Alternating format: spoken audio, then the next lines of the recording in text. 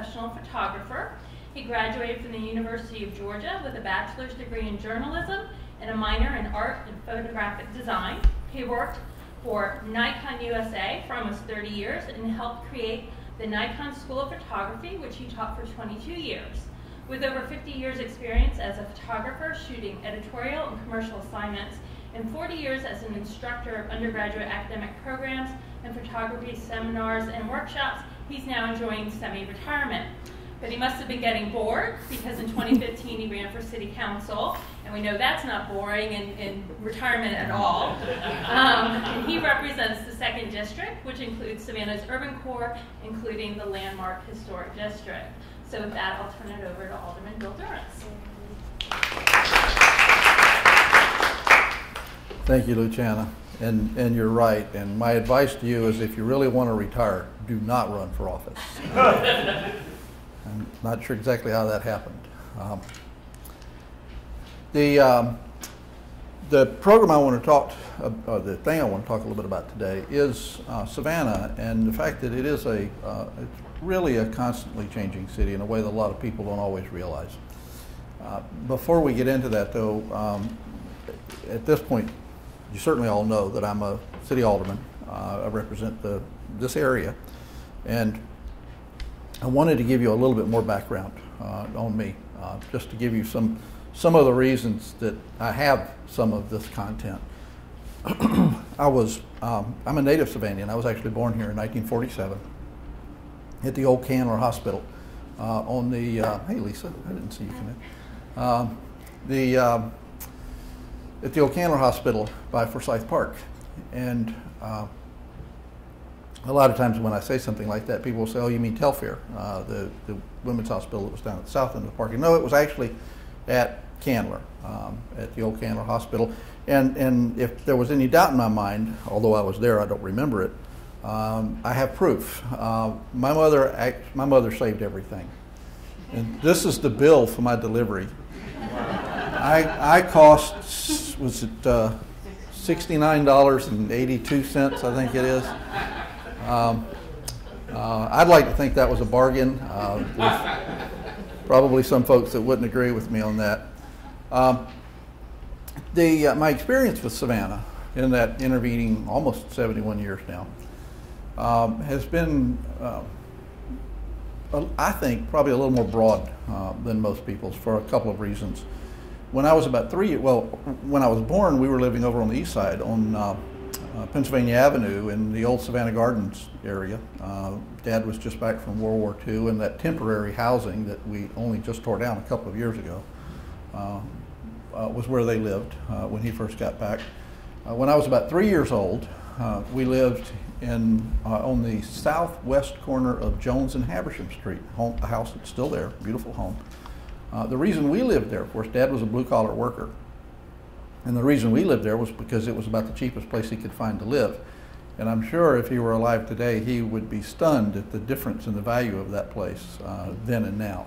Uh, when I was four, about four years old, we lived on 39th Street near East Broad, uh, which speaks a little bit to the changing demographics in the city. That part of the city for some time now has been predominantly African American, but it certainly wasn't back then. Um, and then when I was about five years old, we moved out into at, what at the time was countryside. Uh, it was absolutely rural uh, because there wasn't much past DeRenne Avenue, and, and, where we moved was right next door to where uh, Hess Elementary or Hess K through 8 school is now, and I grew up out there. Um, so I was sort of paying attention to this city before its resurrection started. Uh, through the 50s, uh, even though we were living out in the countryside, mom was regularly coming in and out of town to get the car to take dad to work. Um, and so we were constantly seeing the city, and I remember bits and pieces of that. Even as a young person, I remember bits and pieces of things like urban renewal and the construction of uh, Fred Wessels and then Hitch Village uh, a little later as, as affordable housing complexes. Uh, of course, they were segregated. Fred Wessels was uh, whites only, and Hitch Village was uh, was uh, a black complex at the time that they were built. Well, my education really took off uh, in 1966. uh, as a, uh, an 18 year old, a very suave and debonair young man. Um, and this is about the time I knew Brooks. Um, the, uh, I went to work on the newspaper as a staff photographer. And uh, I think it spoiled me forever because I had a job where I was out all day just wandering around doing stuff. I didn't have a supervisor watching over me. I didn't work any kind of nine to five Monday to Friday job. It was nights, weekends. It was a mix of things, and I think it spoiled me uh, against ever being able to hold down a real job. Uh, it, they just weren't uh, odd enough or something. But one of the things that was great about that job was it took me into all parts of the city. Uh, most people know a city related to a couple of areas, where they live and where they work. Um, but this, uh, just the nature of the job, uh, had me traveling to all sorts of places, and it began my collection of images of Savannah. Uh, I didn't realize at the time that I was creating a collection. Uh, when you're 18, you're not really thinking about what happens much past tomorrow, but and, and you're immortal uh, too. I, I, do remember that. Uh, it's unfortunate how that feeling goes away uh, the older you get. But, um, just getting a chance to be all over the place um, and accumulating a variety of images. This is a place most of you wouldn't recognize now. Um, this is North Beach at Tybee. Uh, today it's a much nicer beach, uh, but just if you went down behind the Tybee Museum, that parking lot, and walked over to the beach, this is uh, where that was. And of course, this was the jetties and uh, you know, what we did at the time to try to hang on to the sand that we're never going to be able to hang on to. It's always going to wash away, and we're always going to have to keep putting it back up. Uh, the big building uh, down on Factors Walk, River Street, burning uh, one time, or a, a, fence, a homemade fence uh, made out of available materials out on Staley Avenue. Uh, the NS Savannah when it was uh, when it was decommissioned and brought back home.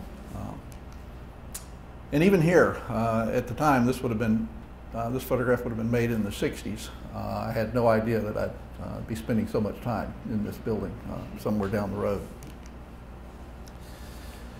Of course, I've been here for a long time. Uh, my wife uh, has been here for a long time as well. but she does occasionally make the mistake of saying something about how she's becoming Southern, and I have to point out to her that you can't do that. Um, you can sort of do it and uh, it's mostly a running argument with us in the best of spirits because uh, the truth is she's a much better Savannian than I am. Uh, she's much better at networking and she actually likes people. Um, so, um, at, times I think she probably would be the better one to be in this office. Uh, the uh, we were out one St. Patrick's Day, and one of our dogs uh, a few years ago had the odd character of turning green on St. Patrick's Day. And we were out walking around with Katie that day, and a friend stopped us and made this photograph. And a little while later, handed me a, a print uh, of the picture. And when he handed me this photograph, uh, he said that he had been going through a box of old photographs from years before, and he had another print for me uh, at the same time from another party a little earlier.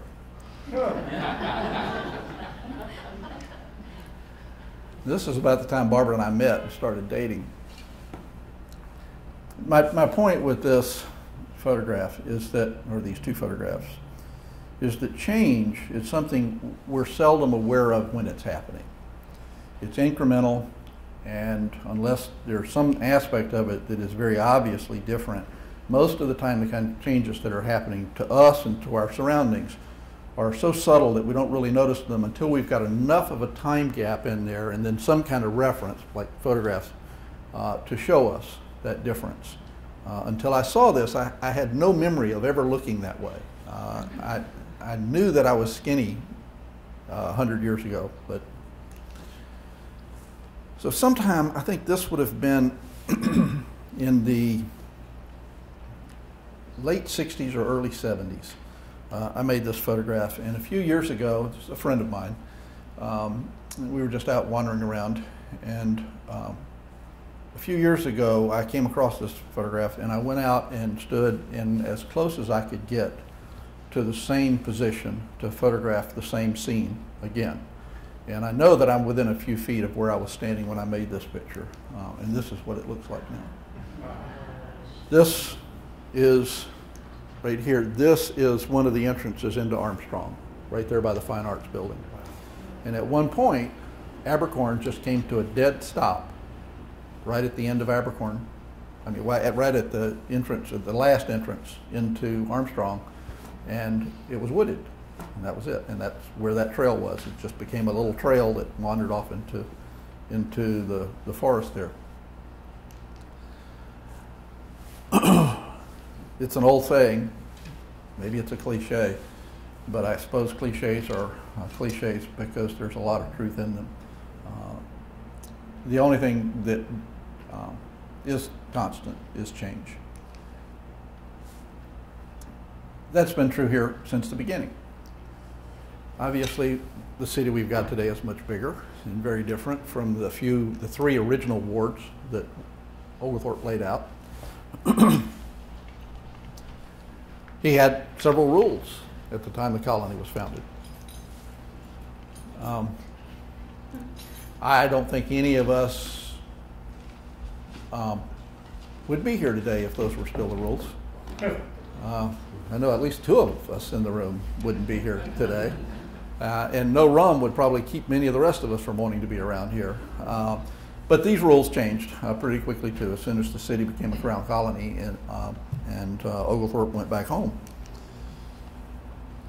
This quote, I think, is apt and it's easy to see how it would be routinely attributed to Charles Darwin based on his origin of the species. In fact, he didn't say this to the best of our knowledge. The quote comes from a business professor at LSU. Uh, but uh, it certainly seems to fit, and, and no matter who said it, it makes a lot of sense. Um, does anyone in here, I know Brooks probably knew, Charles Fraser? Um, Charles Fraser was uh, a member of one of the four families that owned Hilton Head Island before all the development happened over there. And he was the pioneer that started the sea pines plantation development.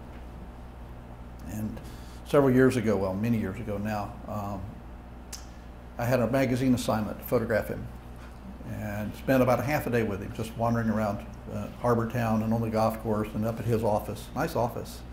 Um, and like what routinely happens when a couple of people that have lived in a place for a long time and seen a lot of change, uh, we started talking about the changes and uh, all the things that had gone on. And, you know, my favorite memory of Hilton Head uh, is when you could just go over there and drive down on the beach and park and have a lot of the beach to yourself. Uh, it's been a while since something like that was an option. Uh, and I was just talking with him as we were photographing uh, about how I had gotten to the point where I just didn't go to Hilton Head anymore. Uh, it had just gotten too crowded. Uh, it felt like a 24/7 traffic jam. Too many people. Um, he, and, and, he was um, very agreeable to my criticism. He said, "Yeah, um, it's gone too far." Uh, he said, "It really has. It's gone too far." And he said, "And everybody here knows that it's gone too far, and everybody here knows exactly when it happened." It was the day after they got here. And I think that is a, a concept we can appreciate here as well. I believe we all develop an idealized moment for where we live. We each in our own minds have an idea of when Savannah was its ideal when it was the perfect spot. Now, how you acquire that and what that time point is, uh, if you grew up here, uh, is a pretty complex thing, and I'm not even sure how to figure that out. But I think if you move here um, as a sentient person, I mean, it could be a child or as an adult, but if you move here as a uh, fairly cognizant human being, I think that that ideal moment connects mostly to around the time that you came here. And we see this a lot these days because change is happening so fast in Savannah. People that have been here for a few years will start saying, "What? It's it's it's not what I came here for." Uh, and I'm hearing a lot of that these days uh, from some folks in certain parts of town because there are changes happening, And when they moved into that neighborhood, it was exactly what they were looking for. And without intending to think this way, I think that they assumed that it would be static, that it wouldn't change. And it's natural, I think, up to a point to maybe think that way because you don't think about what it was like the day before you got there. The day you got there is your reference point for what it's going to be like forever, for what it always was, for that matter. You don't know what it was like before. And it's made me think a little bit more about some of this stuff too. Uh, what happened before you got there? Because this, the day you moved here, and the day that you created your own idea of what Savannah should be and it should stop changing, um, is different from the person that got here the year before you and thought that the year before you got here and think you shouldn't be here. Uh, and I think sometimes we need to keep that in mind, that this is always changing and it's very easy to fall into this without even realizing you're falling into this idea of keeping a place static. It's about perspective. What's your point of view? And point of view, both physical and metaphysical, is, is critical to how we think about so much. I mean, at this, what's essentially a movie set at Disney World, uh, if you stand in just the right place, you've got a view of, I assume it's supposed to be New York City. I think that's supposed to be some variation on the Flatiron Building. But if you move off that spot just a little bit, it's just a made up set. And a lot of life is like that. It's just a point of view. It's the perspective where you're standing, where you choose to stand. In the mid 1850s, I'm sorry, in the mid I'm sorry, the mid 1800s. I don't remember the exact date. You might, when it was constructed, 18, 1870s. Um, the city market was constructed on it was Decker Square at the time, wasn't it? Was it Ellis Square? But it's Decker Ward. Okay. But on Ellis Square, the city market was constructed in 1870s. And there was outrage about it because it did not suit the Oglethorpe plan, putting commercial activity like that in a square. Well, it lasted a long time, but we eventually took care of that and, and we got rid of it.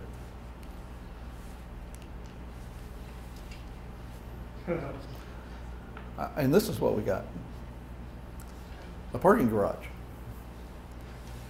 And everybody was outraged that we got rid of the farmer's market. So part of that perspective is time related to. A, a lot of what you hate today, somebody's going to love 100 years from now.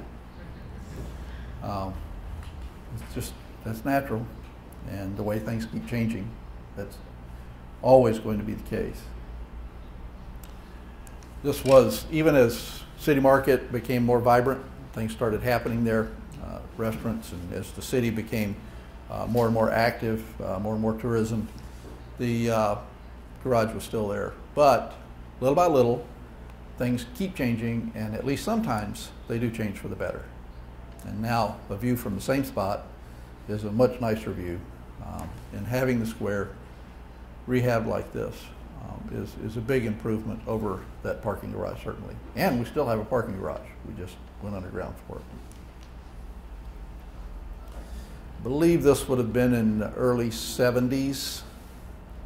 The old Talmadge Bridge, the original Talmadge Bridge, and I'm photographing from Hutchison Island here. And there was nothing there. Some spoils platform for river uh, uh, dredging but that was pretty much it. You can even see uh, at the time it was probably still active, the old power plant uh, right here on the riverfront. Today, of course, we've got a much newer bridge and we've got a lot of activity happening on Hutchison Island. This is from the roof of the CETA building. Got CETA activity here. There's some uh, some dock activity down here and a lot more things going on on Hutchison Island today than there was then uh, with the Westin and the Trade Center and some other things coming. But you can see we needed that taller bridge You can see from the piers of the old bridge that we got, I think it was about a 50 foot increase in elevation, um, which is now not tall enough. I, I, I can't imagine that we're ever gonna, I, I suppose at some point we'll have to do something about needing a taller bridge. Uh, I don't know where we even begin to have that conversation, uh, but, uh, things change and, and we still don't get things right. Somewhere down the road, it's still not enough. Tybee, uh, an absolute monument, or not monument, but a, a, a landmark at Tybee through all, most of my life and long before was Tybrisa Pavilion. In 1967, it caught fire, and you can imagine how long these old creosote timbers burned. Uh, I was actually at home on the south side of town when I saw on the late night news that it was burning, and I had time to get to the beach and make this picture. In addition to the pier, um, which was wonderful, the fishing pier that went out, and right in this area when you first went up on the pier was the roller skating rink. On the other side, uh, away from the beach, were bathhouses and uh, bowling alleys, uh, snack foods, a bunch, a bunch of things like that. And if you went a little bit further down the beach, there was the old brass rail, which I'm sorry I was never old enough to go to while it was still there. It was a uh, old nightclub, classical nightclub where groups like the Ink Spots would show up to perform. It took a little while, but after that burned down in 1967, we did eventually get uh, another pier back at the, uh, at the uh, on the Strand.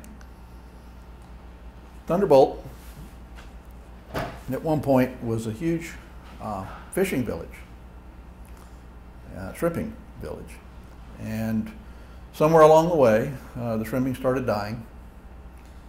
The industry started dying.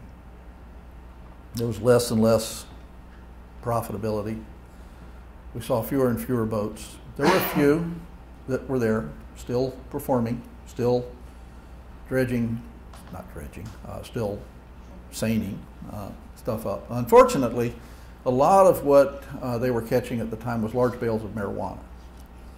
And so there was a, a uh, local political scandal at one point uh, in Thunderbolt, including some officials uh, for the importation that was going on there at the time.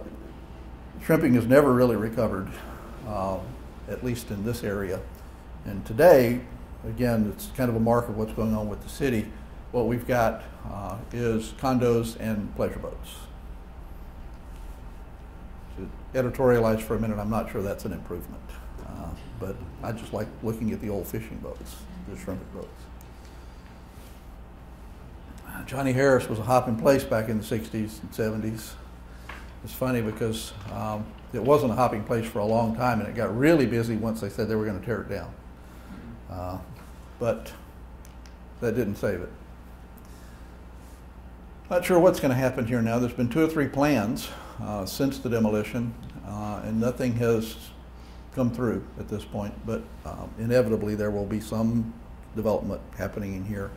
Um, not sure what it might be, but with the nature of that community, it's probably going to be some sort of large-scale commercial sort of project. Some things haven't changed too much. Uh, there's obviously a difference, but the structure hasn't changed so much. This is around 32nd, 31st and 32nd Street on Whitaker. Uh, many years ago, uh, when confectionery stores were our convenience stores at the time. You know, you drop in there to get a little candy or a Coke, or something like that. Uh, little neighborhood stores. Uh, the building today. Of course, most of you probably recognize the Berrien House. What we had at one point was a thriving Western Auto store here. Now, at this stage, it was a uh, cheap furniture store. there was a shoe repair place here for a long time and a finance company, but this building just sat for the longest time. It, it really began to look like nothing was ever going to happen with it, but now it looks like this. And we have this great art supply store here with Blick.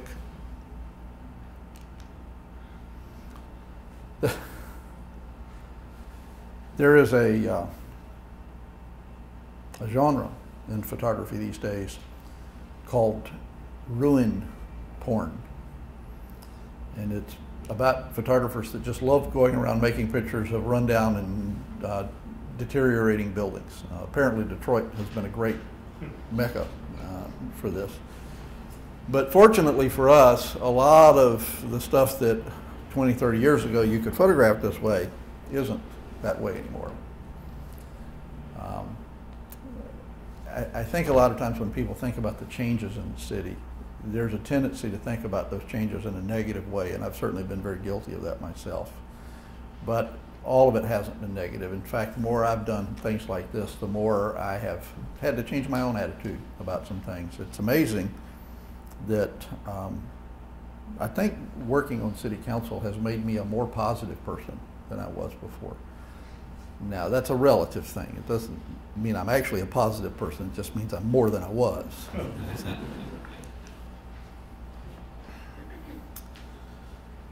I remember mom shopping here when I was a kid. Of course, I remember when Broughton Street was the only place you could go to shop.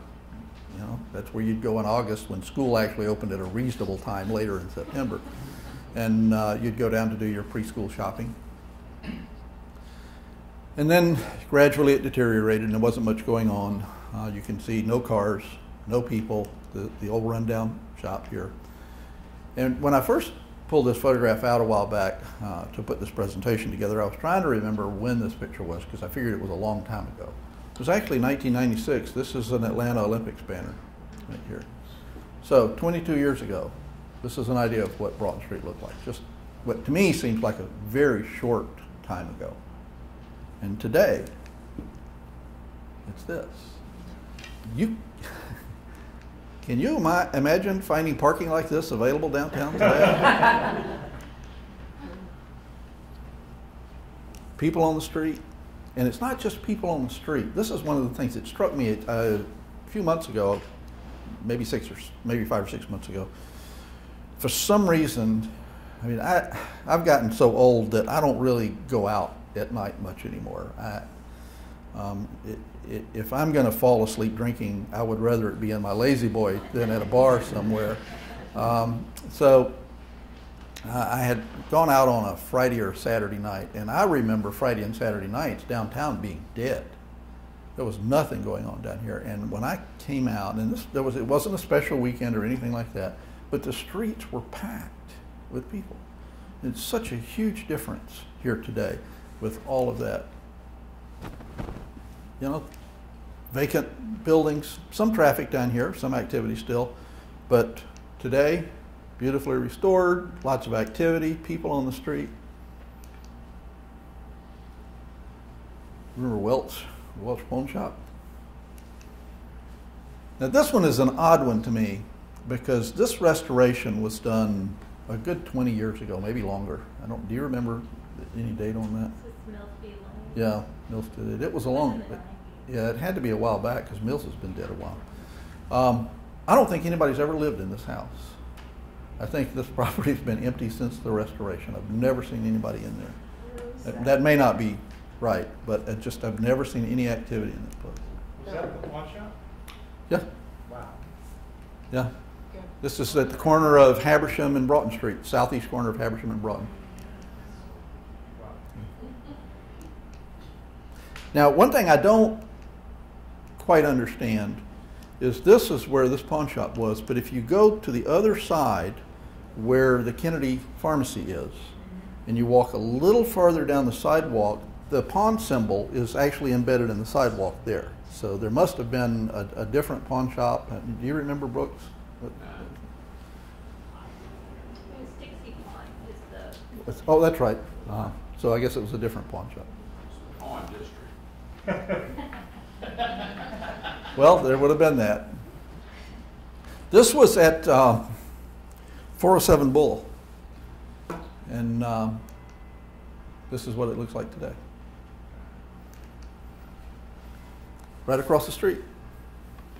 It's old building, pretty bad shape. Even the, the street. It's a little bit better today. Building's much nicer.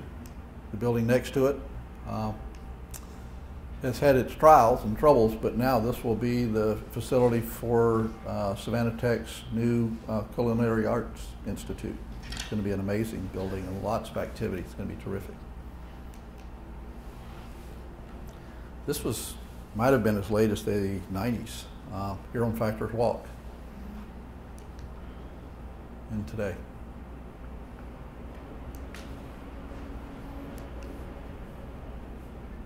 Central of Georgia Terminus. This is where the train, the Nancy Hanks came in. Anybody here? Well, I'm sure Brooks rode the Nancy Hanks. I did. So we had, what, three of us that ever rode the Nancy Hanks? Um, I, I, we need, I, I would love to have a train back to Atlanta. The uh, field over here with the fence and all the grass and everything is actually Battlefield Park now. Uh, it was just old rundown buildings with easy access to anybody that wanted to go sneaking into the buildings and the grounds. Uh, taking the fifth on that. Uh, and of course, the uh, where the, the trains came in, which now is the Railroad Museum or the History Museum inside that area. This- is on uh, Barnard Street, just south of Gaston, on the west side of the street. And a lot of changes to this. Uh, one of the things, as I was looking at this picture, I realized one big change here that's interesting. I mean, there was a lot of businesses in this little tiny building. We had this office supply center, and we had contemporary furnishings, you know, appliances, catalog services. But we also had uh, Pelote Builders, Pelote Paving, and Pelote Trenching and Sewer Pipe. and Benny's done pretty well since then. Uh, he's got the whole floor, uh, I think it's the 14th floor, one of, anyway, one of the floors in the Savannah Bank building facing Johnson Square now. So, and this is what that looks like Broughton Street, this was almost certainly in the 60s. Um, Parks University shop is right here. Uh, Merle Norman today is Marshall House. And I'll, I'll tell you, whatever anybody's opinion of Ben Carter might be, and I'm sure for most of us it's mixed, um, you've got to give him credit for one thing. He has made Broughton Street a lot prettier than it was. I mean, this facade, I watched this happen over several months as this work was done, but this facade looked just like this. And they peeled all of this off and restored all of this brickwork and replaced these windows, and it's just absolutely beautiful. And, and we do have those treasures starting to come back now. And I guess part of the education for me in changing my attitude about some things, because I was resistant to a lot of these changes for a while. And uh, there are still a lot of people in the tourism industry that will tell you I'm anti-tourism, which is not true. It's, a, it's much more nuanced than that. Um, but one of the things that I have to give credit to our popularity is our ability to get this stuff back because it costs money, and there have to be has to be money coming into the community to get these kinds of things. And uh, and we're very fortunate to get. Well, in the first place, we're fortunate to have this still available to recover. I've had a theory for a long time that Savannah was fortunate in its poverty from uh, all through the early 1900s because nobody had any money to build anything, so they didn't tear anything down. So by the time people had money to start doing some nice things around here, we realized the value of what we had and we held on to it. And I think a lot of communities haven't had that benefit. So, um, so I suppose that in some ways you can find a silver lining in poverty. We lost this one. And in my lifetime, um, I remember this because my senior ring dance was here at the old DeSoto. There was a rock and roll radio station that was on the veranda, and my sister dated one of the disc jockeys, so she was always hanging out down there. So it was a really cool place.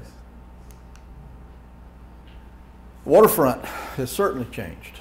Uh, back in the 60s, even the early 70s, there wasn't much going on. I mean, the riverfront was mostly warehouses and some businesses there, but uh, in terms of public activity, there wasn't much. There were four, and I can never remember what all four of them was. There was Harborside. There were four bars down there that, and some restaurant capability, but Harborside, Boar's Head, um, and I can never remember the other two.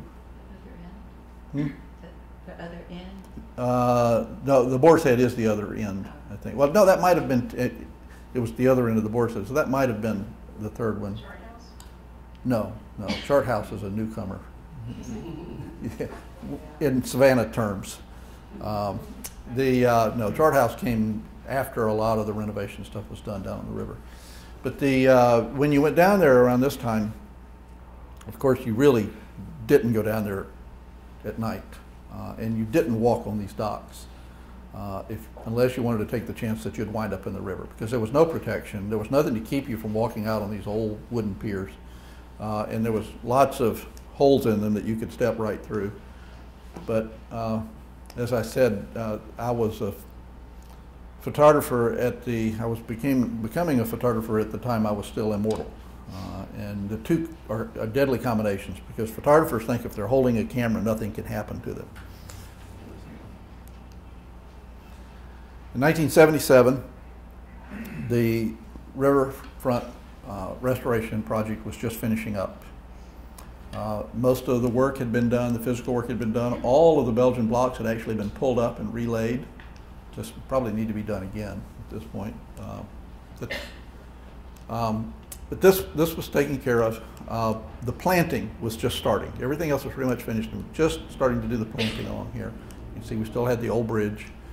The, um, you'll notice also that there's a nice gap right here. Well, today, uh, all of this has grown up a little bit. And from the same position, it looks about like this. You can see the boar's head's even got a little bit nicer awning out here now. Of course, the riverfront is filled up with all kinds of shops and commercial activity. Um, and that little gap is no longer there. Uh, we have this huge thing sticking out uh, into the river.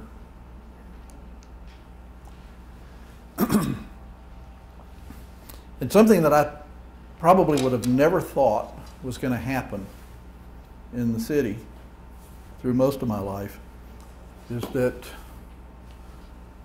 um, we're running out of room to do new stuff downtown. Uh, we've infilled much of the land. Most stuff has been restored. Some of it might need to be in, uh, in might be in need of some rehab. Um, but we need some expansion capabilities for our landmark district, and we're very fortunate that we have that. Now, that's different from just having a place, you know, like the the further suburban areas in the county where you can develop housing and people can live and work. Um, the reason we need the expansion zones close to the historic district is because of so much of the business that's here, the tourism industry, and the fact that so many younger people today want to live close in in the city. So having the ability to expand our core is really important. It's not an option that a lot of places have. Um, and, and in some ways, it's a little tricky for us because the, uh, when Oglethorpe settled here, there was still a pretty conventional wisdom that you build on high ground. Uh, we've kind of walked away from that, it seems like, because you know we've spent. Uh, I mean, we've got so much of our city that's built in marginal areas now, and there's not much choice if the population's going to grow. So these these expansion zones for our urban core on the west and east side are low, and we have to address that. But it does give us some real opportunities to, to grow the city some more and to have some some uh, real opportunities for uh, increasing the sort of dynamic quality of the city. And uh, the west downtown expansion, the Canal District, uh, the new arena, is part of that. I think that there's still, and I admit that I was guilty of this at first too, there's still this sense that the arena is somewhere way out there, that it's not really part of downtown and can't be part of downtown. There is a psychological barrier there, certainly, and a visual barrier because we've got the, uh, the highway system where 16 comes in here through here and where it travels on over to connect to the bridge and 17. So you've got that visual barrier. You've got Chatham Steel here, which seems to be a visual barrier. Now, all of the routes that we're going to have available to go to the Canal District are available to us now. But, I mean, Gwinnett Street is there, Louisville Road is there, and we may have some additional routes. But it, it, I think for a variety of reasons, people tend to think of this as out there somewhere. But if you look, Forsyth Park is right here, and straight down Gwinnett to where the arena will be in this whole canal district. Battlefield Park, the visitor center, all of the stuff is just very close. And what we've got an opportunity to do is create something that will be an amazing addition to this city, uh, something remarkable. Um, the Springfield Canal, which is a very functional canal, it's drainage for much of the western and southern part of the city. We'll have to do a lot of work uh, with that, expanding it. But what it's also going to allow us to do over time is this canal could even have boats on it that move people, just like Riverwalk in San Antonio, that move you from the arena here all the way right into downtown, uh, to the, right into the heart of downtown, to places like the multimodal center right over here. The uh, city is looking to um, build a new municipal and public safety complex that'll probably be in this area somewhere to really uh, improve our capabilities, our efficiencies. I mean, we own a lot of old rundown buildings, and uh, including the one we're all sitting in. Um, and uh, a lot of our infrastructure needs a lot of work. Um, but being able to consolidate our staff into a new facility uh, will really improve a lot of the way we provide services in the city. We'll have playgrounds, uh, a, a, a, pond, not a pond, but a lake here uh, for activity. And then, of course, uh, this is all going to be available. Uh, this is all private land. This is not city development. This is private land that will inevitably develop uh, for uh, a variety of public activities, restaurants, shops. You know, we'll see bike paths, running trails, uh, and then, of course, we'll have the arena in this area. The old Waterworks building sitting here at Stiles in Gwinnett gets rehabbed. This whole area, the entrances to Cloverdale and Carver, um, Carver Village, will be polished up, uh, be real improvements in that neighborhood visually. The, the, waterworks from the other side, all of our public works stuff here will be demolished and all of this will be improved. This is the waterworks building that we'll be doing uh, rehab on. The original idea for the arena was that it would be right here with this plaza. Today, that idea has been changed. This is the Waterworks building, and the arena will be back here. And I really like this change in the design. It was done for practical reasons, but I think personally I like the, the approach too because I like having all of this mixed use. Uh, could be office space, could be hotel, could be commercial activity. But the reason for doing this pragmatically is right now all of our public works facilities are right in here. And if we have to wait until we move those to start on the arena, it'll push it another three or four years out, uh, maybe longer than that. So we can come back in this area right now and begin with the arena project, getting started on the arena, and we should be seeing work on that by the end of the year. Uh, it's moving. So all the activity that we'll be able to have along Springfield Canal, bike paths, walking paths, uh, some boat activity possibly. All of this stuff is connected. Um, Julie, I'm sure you're familiar with this kind of list. Uh, the number of projects that we've got going on in the city. Uh, all of this stuff um, connects one way or the other. If no other reason, then it just takes an awful lot of staff time managing all of this stuff.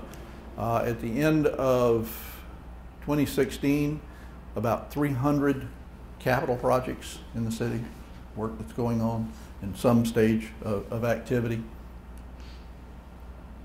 It's all a puzzle, how you pull these pieces together, how you prioritize.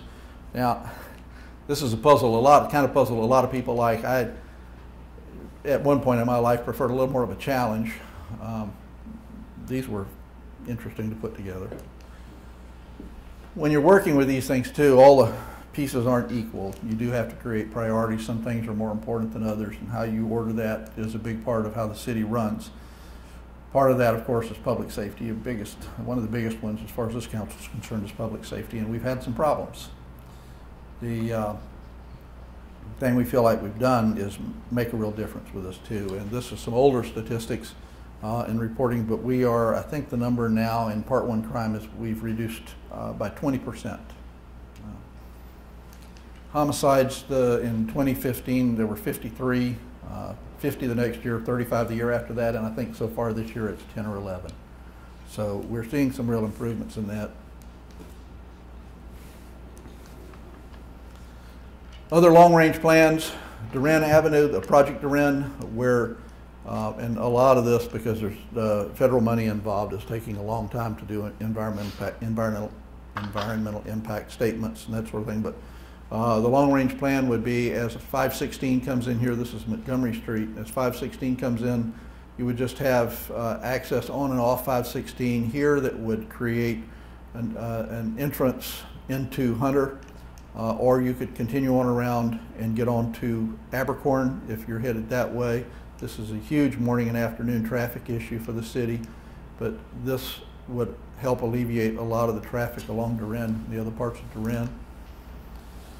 Uh, Most of you've probably heard something about our Broughton Bay and River Street uh, streetscape projects. The first that we'll be beginning with is Broughton, and of course, we'll make these a lot more interesting places to be and to hang out. We would have been started on Broughton already, except we bumped into a couple of things uh, with some, uh, some of the underground aspects of some of these businesses here, and we've had to take a little time to figure out how to make sure that we don't create leak problems for their businesses and that sort of thing before we get started. But the Broughton Street project should be getting started before much longer. Bay will be a much more pedestrian-friendly place. And River Street, uh, one of the things that I really like about River Street is that we'll be getting rid of the public parking lots and that will become much more useful for cafe, sidewalk cafe space or other kinds of activities. The uh, Plaza, the way it's designed now, will be turned around so that uh, any kind of activity that's happening like that will actually be on the river and the people watching will be facing the river. Personally, I'd like to see all the traffic removed from River Street, but I don't think I'm going to win that one anytime soon. In other parts of the city, of course, we own the shopping center um, and it's own Waters. And eventually, uh, we're going to see some exciting things happening there. I think that uh, a lot of what's been happening, and it may not even be visible to folks that aren't involved in this kind of stuff daily, but our opportunity and enterprise zones where there are incentives, uh, tax uh, uh, deferral incentives, and um, job creation incentives in this opportunity zone where the uh, at the west end of River Street, Montgomery and MLK corridor, uh, Waters Avenue and Pennsylvania Avenue, and then the military zone out here. Um, it seems to me that Montgomery MLK, there's a lot more that's going to happen there, but I think that has enough momentum now that that's just going to keep going. I don't think that there's any question that MLK Montgomery, all the way to Victory Drive at least, and probably all the way to 52nd Street, is going to develop over the next few years very heavily. Pennsylvania Avenue, some things have happened over there with, here's my, just point them out, here we go. Um, The Pennsylvania Avenue building, you know, with, not building, but the Pennsylvania Avenue area. The uh, park structure that we're putting up, the Pennsylvania Avenue Resource Center, uh, will be starting on. The uh, Savannah Gardens um, development that the city did over there a little while back. So I think that, uh, and of course, Starland, uh, the Starland area has been a really hot place. There's still a lot more development that's going to happen there. But I think the next thing, I think most of those things are something that's already in place, things are moving. And, and maybe I'm just, uh, maybe this is wishful thinking, but I don't believe so. But I think Waters is our next uh, big event space where we're going to start seeing real investment. I think we're already starting to see a little bit now. It's right at the beginning. Uh, people starting to invest. There's a lot of uh, a lot of room for that over there. Uh, a lot of properties available. We know we're seeing growth in the community. Uh, these numbers are amazing. Last year was the third highest year on record, and it was the highest was the year before that in terms of uh, permits issued, the value of permits issued, commercial permits, residential. This is this is something that I'm really thrilled to see because we had things in place that really disincentivized residential development in the city, and we've made some changes to that, and we're seeing the benefit of that now. with this level of residential development starting to happen. Of course, one man's trash is another man's treasure. And, you know, for everybody that thinks something that's happening is really good, there's going to be somebody that doesn't like it. Uh, these are just uh, the realities, you know, that we live with in, in an urban core. We've had a couple of issues that I think we've addressed pretty well. Uh, they aren't perfect solutions. There are no perfect solutions. But we had proliferation, certainly a perception of a lot of proliferation of hotels in the community. Now, as long as hotels are still operating at 80% occupancy rate, people are going to keep building more hotels. But one of the things that we had a concern about was that hotels might start infringing, or were a little bit starting to infringe in residential areas and places that needed a little bit more protection. So we started working to address that. The other thing was, it seemed like a lot of the hotel growth we were getting because that was the best return on investing in a piece of property. Because we had restrictions on residential development that required minimum unit sizes and a maximum number of units that could be built within a space. And so the, the amount of money that you could make building multifamily residential was far less, especially if you had to do parking that was a higher parking requirement and did not generate revenue compared to what a hotel would do. So we've done a couple of things to help reverse some of that or flip some of that. One is uh, in many areas uh, substantially reducing the minimum unit sizes so that we can create units in the 400, 500 square foot size uh, that appeals to, to younger people who can, with our land values downtown, of course, the only way you make a unit cheaper and affordable uh, is to make it smaller. Uh, so allowing these small units to be built, allowing more units to be built. Uh, we've started addressing some of this, the hotel issue. We, instead of having one category of hotel, which is just hotel, it could be big, little, there was no distinction. We created a small hotel category and then we started defining where you could build small hotels, the yellow areas, where you could build larger hotels, which is more than 75 rooms, and where you can't build a hotel anymore. No hotel construction at all. Short-term vacation, certainly a touchy subject with a lot of folks in the community. It's another lodging use, uh, confined primarily to the urban core. And just like the hotel ordinance, which took, I think it was eight months of stakeholder meetings back and forth and back and forth until we came up with something that everybody could sign on to. Same thing happened with vacation rental ordinances with residents, uh, vacation rental owners and vacation rental management people, and came up with some plans that really helped start containing the growth uh, of that so that no area of town, no ward, uh, residential component of any ward can have more than 20% uh, short-term vacation rentals now. Zoning. Uh, Zoning is at the core of so much of how we manage the city, what we allow, what kind of use we allow, and where. And we have a 1960s zoning ordinance right now that is so antiquated and has been revised and, uh, and amended so often that it's just unmanageable today. So we are slowly but surely working our way through a new zoning ordinance that we hope to have finished by the end of the year to take effect first of the year. Tourism is a huge thing in the city, but it has grown with little direction for a long time. So one of the things that we did last year was put together a tourism management plan, lots of stakeholder meetings, lots of neighborhood meetings, lots of industry meetings uh, to come up with the best way to manage the continued growth of tourism in the industry in the city. Uh, blight is certainly a, a, big issue in lots of parts of town. Demolition by, by neglect uh, has been a problem here. Uh, what we'd like to do is get people who can't or won't take care of a piece of property to sell it. At least let somebody else have it that might do something with it. And one of the tools that we have now to do that is if the court rules that you're, I mean, there's, there's some legal definitions of what's actually a blighted property. It's not just because somebody looks at it and thinks it's run down. But if you qualify, if you, if you are qualified as a blighted piece of property, we can add a seven times multiplier to your property taxes as an incentive to do something with the property. We also got the state to change the rules about eminent domain.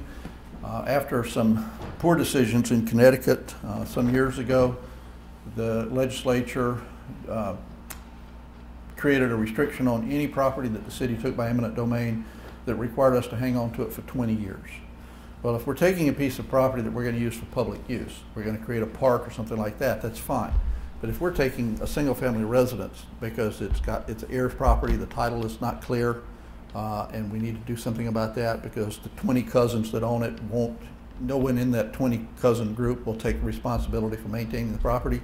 If we were to take something like that to try to get something done with it, we have no use for it and we would be holding it for 20 years. So last year, the we got the state to change that rule so we can now actually take these properties and turn around and sell them right away, clear the title when there's a title issue. The only restriction, and this is something that we were all happy to live with, is that it has to retain its original use. So if it's residential property, it has to stay residential. But these things, the blight tax and the new ability to use eminent domain is allowing us to do programs like the Savannah Shine program. Uh, we identified all of the neighborhoods in the city, rated all the neighborhoods based on amenities, uh, average incomes, just a variety of things. And now we're working our way down the list. We'll spend about 18 months. Uh, we started with Edgemere Sackville uh, as our number one community, and we're putting in new playgrounds, fixing the streets, fixing the sidewalks, uh, just doing anything we can to re-energize and revitalize uh, that neighborhood. At the end of this project, we'll move on to the next one on the list. We've got so many more people here now. Five minutes. So many more people here now, and uh, no more water than we ever had. We simply can't provide water from the Floridan aquifer anymore. So wastewater treatment and surface water treatment is uh, a must. So things like the bio uh, biosolids project that we're doing uh, is going to help us uh, provide uh, a longer, better water supply. We've got the impound uh, out in is that in Effingham? Actually, the, the impound lodge in Effingham now. But it's a reservoir actually that we may need uh, to also have ready supply of water. So we're doing a lot that way. We've got these huge new projects on the west end of River Street. There are public-private partnerships. I mean, the hotel, of course, is private, but we're doing the stairwell and elevator here.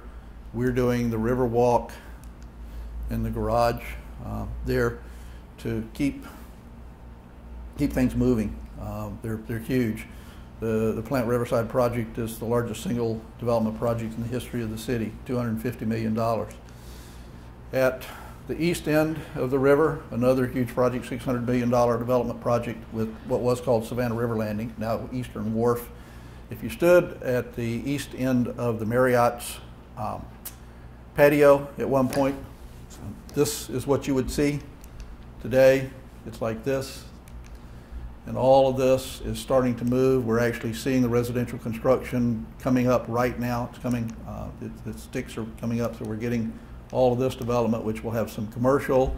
We'll have public garages here wrapped by apartments and commercial activity, office space, hotels, a riverfront park. Of course, the Riverwalk goes along here. Uh, all of that's public. All of this will be public. This is a rendering of what some of that's going to look like. This is what Pennsylvania, uh, President Street looked like in that area, of course, during uh, Hurricane Matthew, uh, because some people think they can drive through this. Uh, this is what it looks like today. If you looked over at Hutchinson Island years ago, that might be what you see. Today we've got the Westin and the Trade Center, but we've also got plans for a marina and mixed-use development here, expansion of the Trade Center, another, I believe, 300-room hotel. Uh, just so much what Charlie Morris has done with Trustees Gardens, taking uh, the old Foundry building, really rehabbing that, did a beautiful job. The development that's coming for the Oglethorpe property,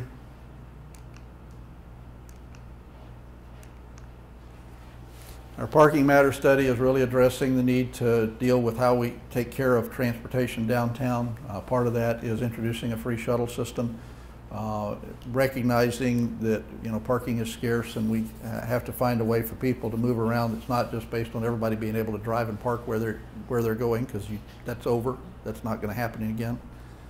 We've got the free shuttle routes and the CAT system the high-end fixed route bus system has it uh, at, at, the best routes, the most active routes, has about a 17 or 18 passenger per hour average.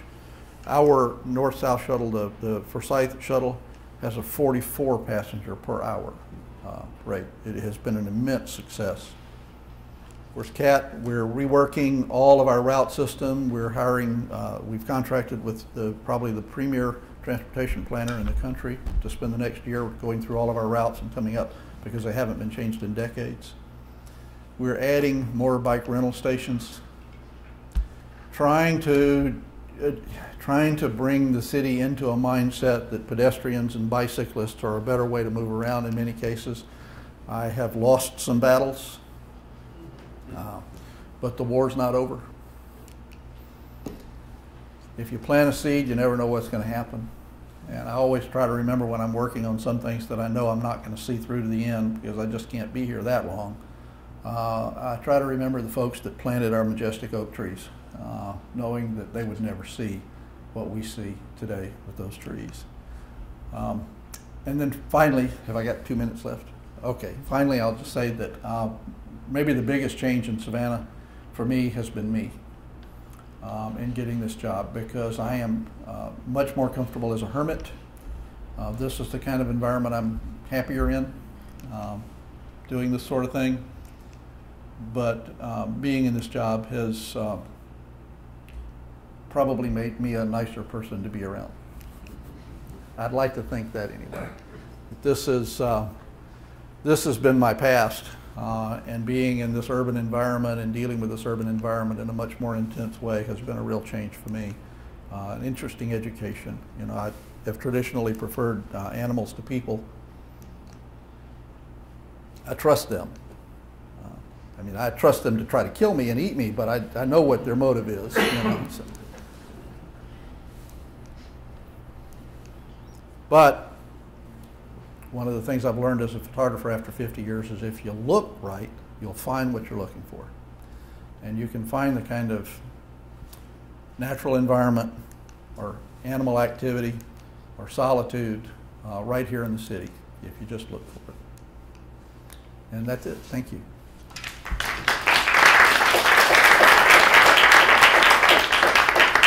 And, and I apologize for being two minutes long. That's okay. If anybody has any questions, we'll take those, and if, while we do that, if you might, um, make any comments, there's a little survey there, and we can pass around pencils if anybody needs that. But if you'll do that before you leave, I'd appreciate that. Does anybody have any questions for Alderman Durrence? Yes, ma'am. How many people that you see downtown during a day are actually living here and not tourists? Because I, when I go downtown, I'm usually ushering or something, and everybody that I see to me looks like a tourist or a student. So how many Well- residents of Savannah actually use? Well, I mean, dress codes have gotten so sloppy these days, it's hard to tell the difference between a resident and a tourist. Um, I, I would, I would hesitate to try to guess. I'm sure that a lot of what you see is tourist visitors, because if you're a resident here, you're probably not going to be outside in this heat.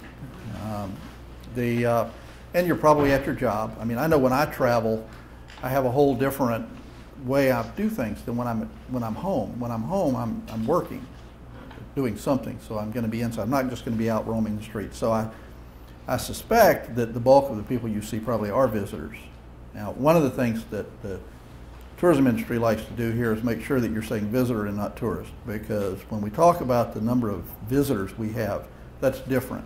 You know, the, the number of visitors we have, that 14 million, uh, includes people that come from Effingham County for a doctor's visit uh, and that sort of thing. But I, I think probably most of what you're seeing is visitors. Uh, but that doesn't mean that there aren't plenty of people here. It's just those of us that live here um, have come to appreciate air conditioning. This time of year, anyway. Anybody else? Well, thank you all for coming. Thank you. Thank you.